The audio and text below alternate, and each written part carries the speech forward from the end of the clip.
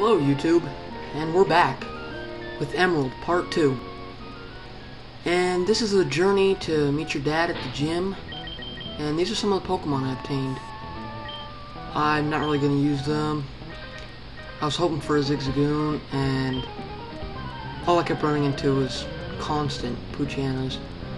So I just decided I'm not going to get a Zigzagoon. I'm just going to raise a Tail and a Shroomish for now. And this battle begins. Um, you may notice that my Kippers has more experience than last time, because I've done a couple of battles. And that's pretty much all I've done, is just capture those two Pokemon, and done some battles. And Poochyena is down. And my Kipper is now level 8. It's a pretty good stat boost right there. Except for the speed. Should train yours more, that's right. You may notice that when I run, that it looks like I'm skating. I have no idea why. Might be my hypercam, I have no idea. But just try to ignore that. And Wurmples get so annoying at this time of the game, because especially if you have a Mudkip, since Wurmple's string shot, see look what he goes. It'll really slow you down. So, I don't know, I'd recommend working up your speed a little. Although it's not really that much of a threat. And whoa, I'm almost level 9 already. And no, I don't think I want to change Pokemon. Since apparently other ones are all dead. And I, they're just weak. I mean, I don't really want to use them. Okay, Kipper's tackle. Wurmple is down. And I guess we get to move on now. And Kipper's made it to level 9. And it's all well balanced. Not the best, but pretty well balanced. Alright. I would try and get a Ralt, but those are pretty extremely rare over here. It's amazing how that Wally guy gets it on his first try. But I don't like Ralts because he doesn't learn good moves till a bunch of levels pass. Alright, let's take down the Zigzagoon.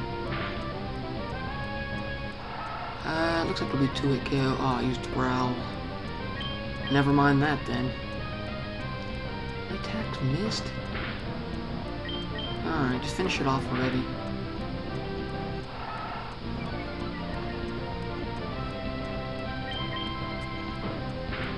Okay. Critical hit just now. That didn't do any good. Halo,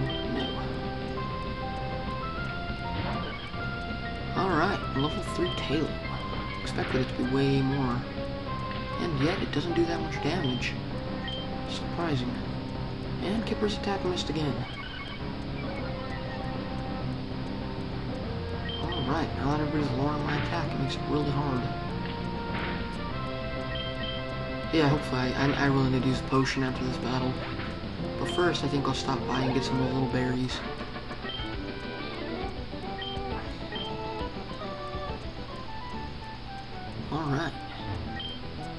Two Pekka berries. Pecha berries, whatever you want to call them. And two Oran berries. Maybe I'll quit my Mudkip with those later. Alright, well before I fight her, let's use a potion.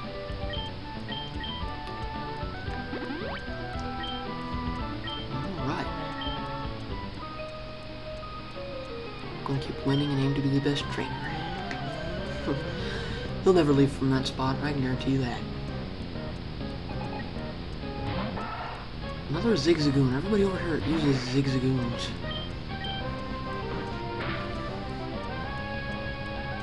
Critical hit. That's nice timing for a critical hit. Kipper, Kipper's grew to level 10.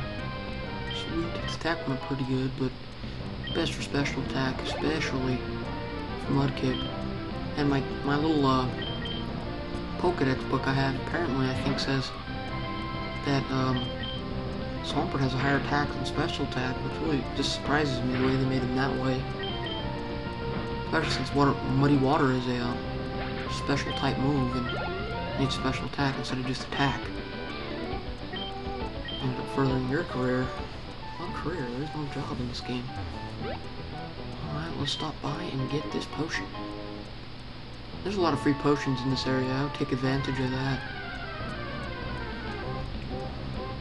Oh, you could just save up a lot of money and just buy 99 Pokeballs. Let's just destroy this Poochyena over here. I can use a little bit of experience. Yeah, my, my Kipper is getting pretty strong. Alright, Poochyena is down. 23 experience points? Oh well. Alright, well, I guess maybe I should heal up, since half of my team is almost dead.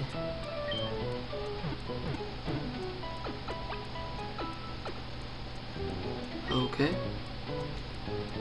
And we're heading out to the gym. Shame that I can't battle him yet, but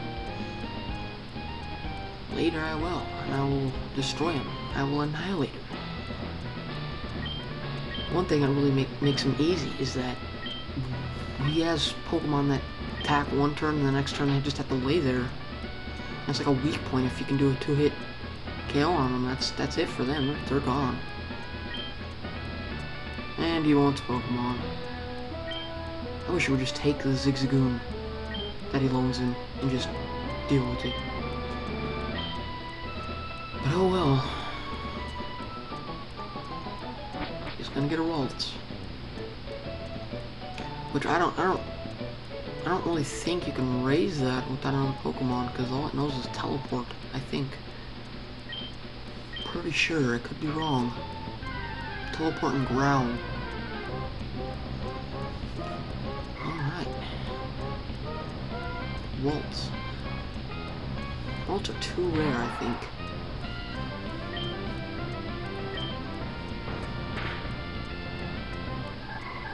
Is pretty weak. But after all, it is a level 5 Ralts, and a level 7 Zigzagoon. There's too many Zigzagoons in this area. Everybody has one.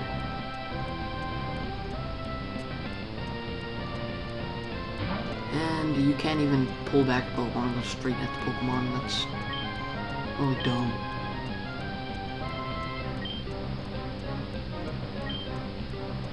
I would laugh so hard if if he missed that, even though I know he can't because it's programmed in the game. But, I mean, if he just missed that, it, it, would really, like a glitch or something, it would just really be funny if he missed that.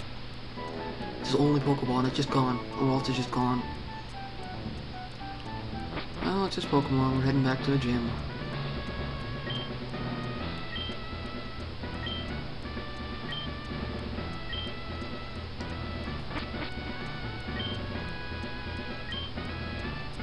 Alright, so the next gym is in Rustboro City, and she's a rock type. I mean, my Kippers will easily destroy her. Okay, and I believe, I think somebody down here gives you something, but I, I'm not really remember. It's been a while since I played this game. I mean, like two years is when I actually really got into the game. Somebody over here give you something? No, apparently not. Well, I think maybe somebody in here gives you something. No, no, it can't be right. Okay, well, Scott apparently shows up. That's his name. I might not say it now, but his name's really Scott. So apparently not. He assumes you're a Pokemon trainer and then changes his mind. And well, I guess maybe that, that wraps up this video. So I think I'll see you guys later. Thanks for watching the video. Remember, rate, comment, and subscribe. Till then, see you later.